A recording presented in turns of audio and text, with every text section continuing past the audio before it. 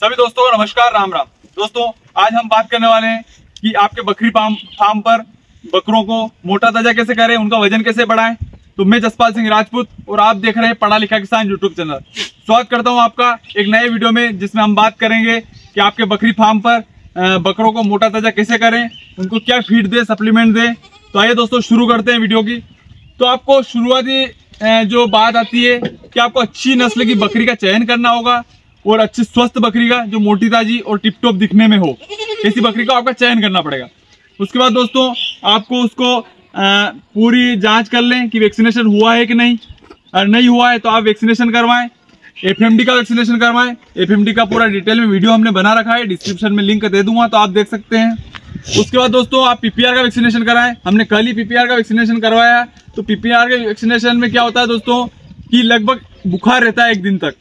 तो ऐसे में आज हमने बकरों को चलने नहीं भेजा है उसके बाद आप वैक्सीनेशन करवा लिया है, बकरी स्वस्थ है, उसके बाद आप प्रॉपर तीन महीने में डीवर्मिंग करवाएँ। क्योंकि डीवर्मिंग कराएँगे तो उससे पेट के कीड़े मर जाएँगे।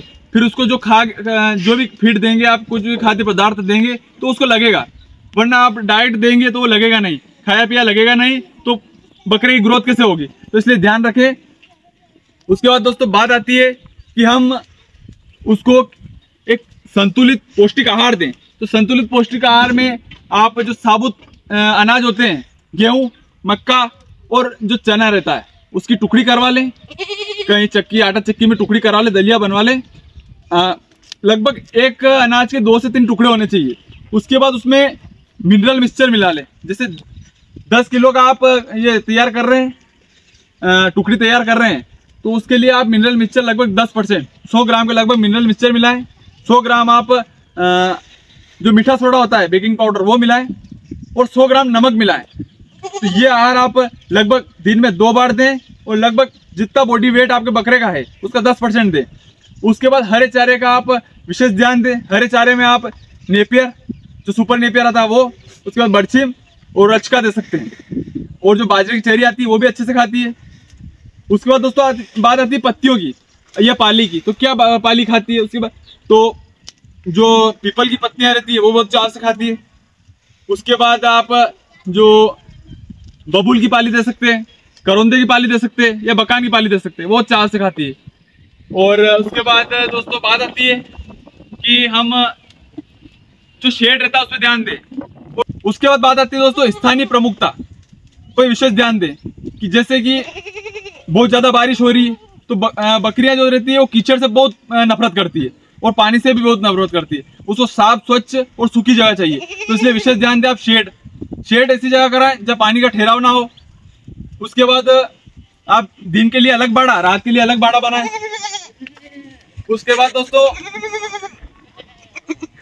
उसके बाद दोस्तों बात आती है कि ठंड के मौसम में ज़्यादा ठंड हो तो उससे भी ठंड ज़्यादा लगती है इनको। तो ऐसा शेड का विशेष ध्यान दें। एक और बात का विशेष ध्यान रखें कि आप मीट के पर्पज से, मांस के पर्पज से बकरे को तैयार कर रहे हैं तो बकरियों फीमेल बकरियों से उसको दूर रखें, अलग शेड में रखें। और या हो सके उसको खस्सी करवा लें तो उससे उसकी ग्रोथ बहुत जल्दी होगी। तो उसके बाद दोस्तों, जो मिनरल चार्टेड ड्रिक्स आती है, वो ज़रूर लटका दें, ताकि उसको चाटेंगे बकरे तो उनका डाइजेशन सही रहेगा, और जो मिनरल्स की कमी रहती है, वो पूरी हो जाती है। और मतलब दो या तीन महीने में आप कैल्शियम की दवा भी दें उनको आ, उसके बाद आप प्रॉपर टीकाकरण पे ध्यान देंगे तो आपके बकरे स्वस्थ रहेंगे। और हर वीडियो में जैसे कि मैं बताता हूँ आपको कि चरने भेजें। अगर चारा का भूमि है तो चरने अवश्य भेजें कि वो स्वास्थ्य की दृष्टि से बहुत अच्छा लाभदायक है। उसके बाद उसकी असली ग्रोथ भी चरने से होती है क्योंकि बकरे होते चंचल तो उनको चरना घूमना बहुत ज़्यादा पसंद होता है। इसलिए इस पर ध्यान दें आप। वीडियो अगर पसंद आया हो तो वीडियो को लाइक करें शेयर करें। और चैनल पर नए हैं चैनल को अभी तक सब्सक्राइब नहीं किया है तो चैनल को सब्सक्राइब करें और जुड़े रहें। ऐसे इंटरेस्टिंग वीडियो के लिए हमारे साथ।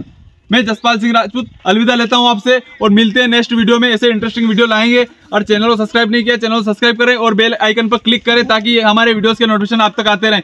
धन्यवाद दोस्तों।